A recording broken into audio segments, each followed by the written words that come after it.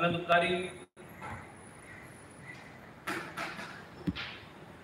અનંત કલ્યાણ કરનારે હિન્દીમાં બોલી હા હેમચંદ્રાચાર્ય રચિત વિતરાગ સ્તોત્ર जिनका अर्थ हमने छह गाथा तक नहीं सात गाथा तक गुजराती में देखा था अभी तो आठवीं गाथा है तथापि हम। नोपालभ्य स्नल्लभि विशृंखलापि वाग्वृत्ति श्रद्धानस्य शोभते तथापि श्रद्धा मुग्धो हम। नोपालभ्य स्नल्लभि यानी कि यहाँ पर बहुत अच्छी बात कही है। अगर मैं श्रद्धा से मुक्त हूँ, मेरी परमात्मा पर अटूट श्रद्धा है परमात्मा। अगर मेरे से कोई गलती होती, विशृंखला भी वाग होती वाग होती है यानी कि मेरी ये स्तोत्र रचने समय, ये कौन कह रहे हैं? कलिकाल सर्व आचार्य भगवान हेमचंद्र सूरी महाराजा। विशृंखला की वाग होती है यानी मेरी वाणी की, वाणी के द्वारा कोई भी स्खलित होती है तो नो उपालभ्य स्खलनभ्य यानी कि उपालभ्य यानी कि ठपका तो वो ठपका यानी कि कोई दोष के कारण नहीं होगी क्योंकि मेरी भावना ऐसी नहीं है। मेरी भावना तो परमात्मा आपकी भक्ति करने के लिए है। शायद ये स्तोत्र रस्ते रस्ते है। या तो आपकी भक्ति करते करते थोड़ी भी स्खलना हो जाए तो श्रद्धा न अश्य शोभत है फिर भी श्रद्धा की वजह से ये शोभायमान लेता है। मतलब मलिकाल सर्व में आचार्य हिंदू समाज कहते हैं कि आराधना के पद पर चलने वाले अगर गिरते हैं, चलते हैं, गिरते हैं, चलते हैं तो भी शोभायमान होते हैं।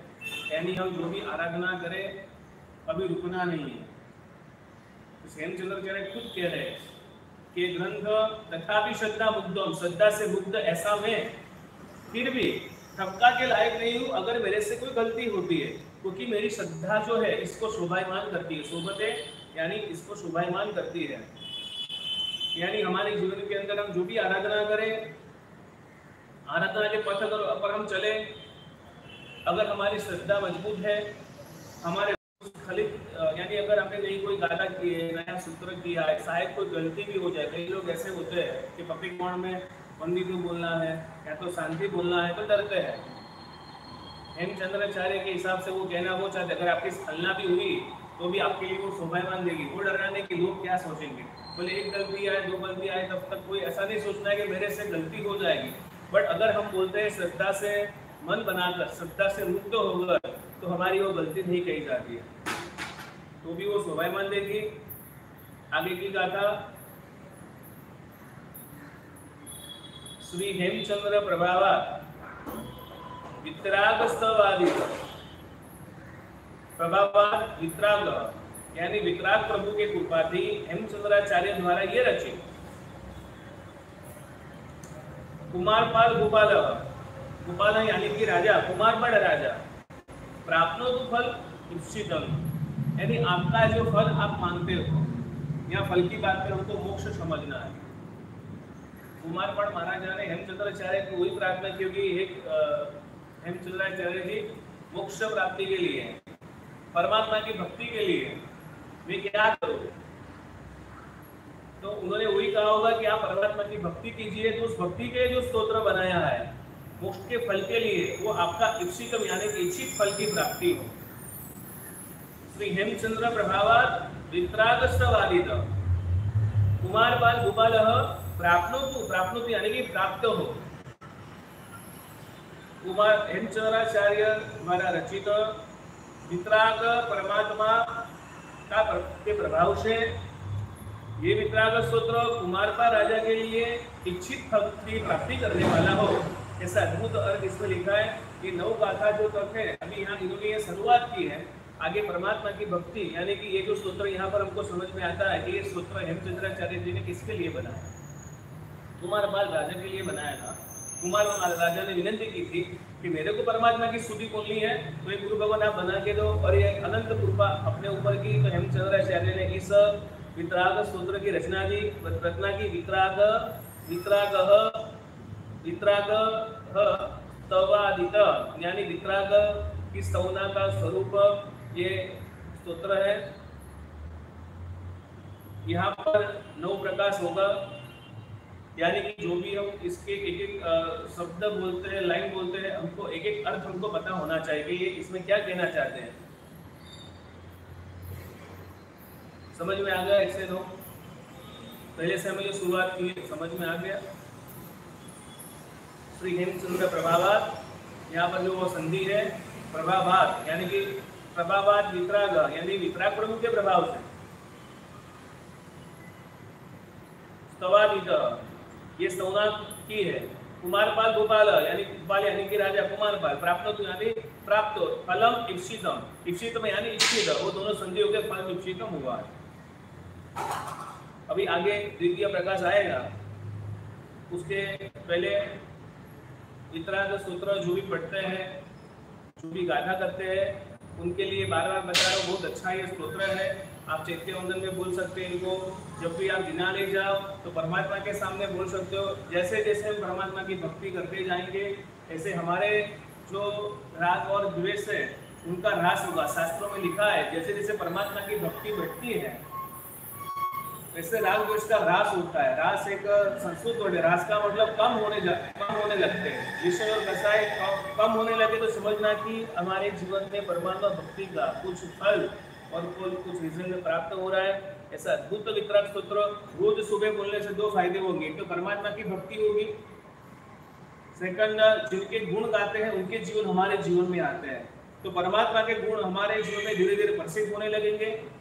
तीसरे नंबर में पुण्य बंद होगा। कोई भी अच्छा काम किया हमने, इतने टाइम के लिए पुण्य का बंद हुआ। कौन सा पुण्य का बंद होगा? हमारे मुँह से हमने अच्छी चीज़ बोली तो उससे नाम कर्म जो हमारा होगा, वो नाम कर्म फिर, मोनीय कर्म जो है, वो भी हमारा कटेगा क्योंकि हम परमात्मा भक्ति कर रहे हैं। विराग विराग वाली चीज़ हम पढ़ रहे हैं तो वो होगा, उसके आगे हमारे जीवन के अंदर परमात्मा के प्रति श्रद्धा बढ़ेगी। आगे में हमारे दर्शन की शुद्धि होगी, क्योंकि जो जिनकी हम परमात्मा की अगर भक्ति करते हैं तो हमारा दर्शनावनीय कर्म है। वो भी आवरण, जो दर्शनावनीय कर्म का आवरण है, वो भी धीरे धीरे कम होने लगता है। तो ऐसे बहुत सारे लाभ और आगे जाके हम देखें तो हमारे हमारे ऐसे मेडिटेशन जो कहते हैं ना, वो मेडिटेशन भी होगा। ये परमात्मा के गुणों का चिंतन करना, परमात्मा के गुणों को बोलना परमात्मा के गुणों का ध्यान करना, वो भी एक प्रकार का मेडिटेशन है। तो हर चीज़ में ये सूत्र काम आ सकता है। तो ऐसे कहा जाए कि एक सूत्र से आप कई सारे लाभ प्राप्त कर सकते हो। आगे जाके स्वाध्याय भी हो जाएगा और बारह प्रकार के स्वाध्याय जो है, शास्त्रों में जो बताए हैं, छह बाह्य और अभ्यंतर, उसमें सबसे ज़्यादा किसी का लाभ बताया हुआ है स्वाध्याय समूह तो वो नास्ते स्वाध्याय समूह कोई तप नहीं है, वैसा भी लिखा हुआ है एक आगम में। यानी वो स्वाध्याय भी हो जाएगा, यानी कि एक प्रकार का कब हो जाएगा। आगे जाके उतने टाइम तक आप एक जगह स्थिर जगह पे बैठोगे तो आपके लिए वो स्थिरासन भी हो जाएगा।